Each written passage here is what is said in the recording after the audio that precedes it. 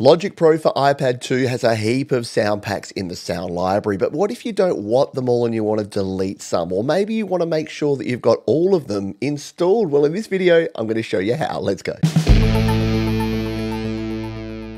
To manage your sound packs, when you open a new project here in Logic Pro, before you go into tracks or loops mode, jump down here to the featured sound packs. Now, you can just choose one of these featured ones, tap on it, and then if you've got it installed, you can hit delete and then delete again, and that's going to get rid of that pack. Don't worry, you can always re-download it later. If there's a pack here that doesn't say installed under it, like Ultimate 808s, and I want this one back, I tap it and I hit the get button, and that's going to download that pack and once that download is done, those sound files will be installed, ready to be used in my projects. However, you'll quickly notice that this isn't all the sound packs. This is only the featured sound packs. So to get to all of them, we tap over here on this, the see all button. And now, yes, you've got every sound pack available split into different sections. At the top, Apple have selected three highlighted packs that you may want to check out. And you can tap on those and then install them or preview them if you would like to. You've then got your sound packs. These are the regular sound packs. And by scrolling to the right and then back to the left, you can see all of them there. You've got your artist and producer packs here that you can access. And then if you scroll further down, you've got your instrument packs. You've got your session player instruments and loops down the bottom here for all five different session player types.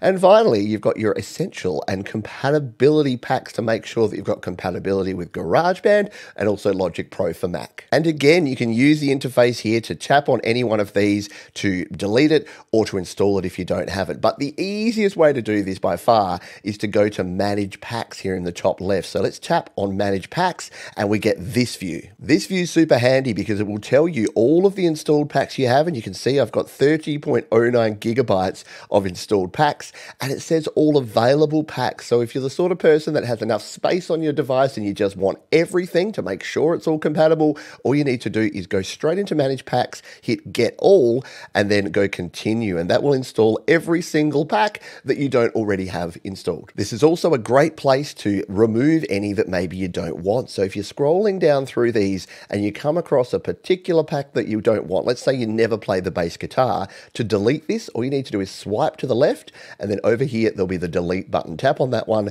tap on delete, and that will remove that pack. To get it back again, you guessed it, just hit the get button and it will automatically start downloading. And you can even sort the list because it's growing all the time. So if you hit the sort button in the top left here, you can sort by the ones you've got installed, by the name, or by the featured pack. So if you just want to see the ones you have installed, I've got them all. But if you don't, it'll put your installed packs in one section and then all your uninstalled packs in another section. And if you want to delete multiple packs without having to tap individually each time, if you hit the edit button here in the top right corner, you can quickly just jump through here, tap on the delete button, tap delete and delete again, and then just go through and tap all of the ones that you don't want, uh, remembering that you can always bring these back in the future if you change your mind. One final tip, how do we use the sounds that are in these sound packs? Well, there's a simple way to do that. Let's hit the done button in the top right corner, open a new project here in tracks view. We'll just add an audio track just to get started. Now, in the bottom left here is our browser. If we tap on that one and go back,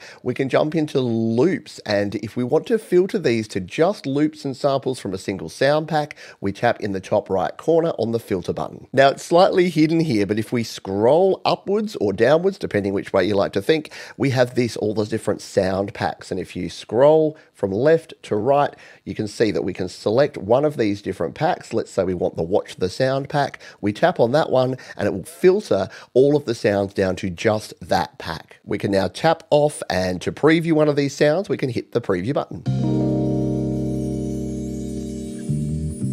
And we can bring these sounds into our project by simply tapping and dragging and dropping onto a track, importing those, and we're good to go.